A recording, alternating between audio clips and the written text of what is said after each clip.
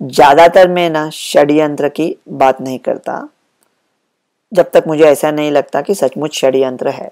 यहाँ मुझे कुछ गड़बड़ दिखाई दे रही है। क्या कन्वीन मतलब उनका टाइमिंग भी क्या मौका परस्ती है? वो कह रहे हैं कि ये जो मोनोक्लोनल एंटीबॉडीज बन रहे हैं इंडिया में मिल रहे हैं, वो ये डेल्टा प्लस जो उन्होंने नया खोज के निकाल। कहा, कहाँ से खोज के निकालोगे? ये डेल्टा प्लस कौन से लैब में टेस्टिंग होता है? छोटे छोटे शहरों में कौन से लैब में टेस्टिंग होता है? अगर जय, बीरू और बसंती गए वहाँ तो बसंती का रिपोर्ट पकड़ के जय और वीरू को पकड़ा दिया कि आप पेट से हो। इतना नहीं किया तो काफ़ी है। ये छोटे लैब में कहा से म्यूटेशन, क्या टेस्ट करेंगे, क्या बात कर रहे हैं ये लोग? और उन्होंने कैसा पता चला कि मोनोक्लोनल एंटीबॉडीज नहीं चलेंगे? कि एक पेरिस में स्टडी हुआ था। सोचने वाली बात यह है कि फाइजर मॉडर्ना को इंडिया में सात महीने बाद परमिशन नहीं मिला, क्योंकि इंडिया के ब्रिजिंग स्टडीज़ नहीं है। नहीं है। लेकिन फ्रांस के लैब में पेशेंट नहीं है एक्चुअल फ्रांस के लैब में जो न्यूट्रलाइजेशन स्टडीज़ है, वो ले लेंगे।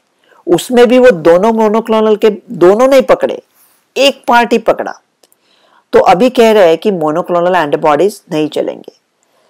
मेरा ये मानना है कि डेल्टा प्लस ये जो स्टोरी है 24 घंटे की स्टोरी है, और मोनोक्लोनल को ख़त्म करने के लिए मोनोक्लोनल कोरोना को ख़त्म कर सकता है, और जो करोना को ख़त्म कर सकता है, उसे ख़त्म करने के लिए ये डेल्टा प्लस का लाया है, उसका कुछ आगे नहीं निकलेगा।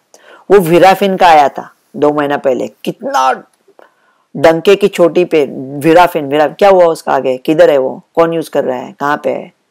दूसरा है था टू डी ऑक्सी ग्लूकोज कहाँ है वो? कौन लोग यूज़ कर रहे हैं? कहाँ पे है वो? कुछ नहीं। ऐसे कुछ न्यूज़ आ जाता है पंद्रह सोलह घंटे के लिए और बाद में चले जाते हैं। और ये ये क्या है? Delta plus. कौन जानता है कि क्या हो सकता है? कहते हैं डरने की कोई बात नहीं। इधर जाएगा, उधर जाएगा। वो डेल्टा प्लस का लोड लेने का कुछ ज़रूरत नहीं है। ये सब अभी अल्फ़ा बीटा डेल्टा थीटा सब छोड़ दो। इंडिया में इतने लोगों को कोविड हो चुका है और वो लोग ऐसे ही बच जाएँगे केसेस अपने आप कम आ जाएँगे। ये जो बाकी क्या चल रहा है इंग्लैंड में क्या तीसरा वेव आ रहा है सेशल्स में क्या हुआ कतार में क्या हो रहा है चिले में क्या हुआ थाईलैंड में वैक्सीन क्यों नहीं दे रहे लोगों को, वो अभी हम लोग छोड़ देते हैं। मुमकिन है तू जिसे समझता है बहारा, औरों की निगाह में वो मौसम हो खिजा का शायद कि ये जमी है किसी और जहाँ की, जिसे तू समझता है फलक अपने जहाँ का। हम खुद की देखेंगे। एट डॉक्टर गुडसे रवि वन पे मैं ट्वीट पे ट्वीट भेजता रह रहा हूँ ट्वीट पे ट्वीट भेज रहा हूँ। मेरा ये मानना है और मैं सही निकलूँगा। जुलाई एक को, जुलाई एक तक केसेस बहुत कम आ जाएँगे। उसके बाद थोड़े बहुत केसेस दिखेंगे, लेकिन लहर के स्वरूप में नहीं आएँगे। ये महामारी अब खत्म हो रही है। दो अक्टूबर तक भारत माता के मास्क निकाल के रखेंगे।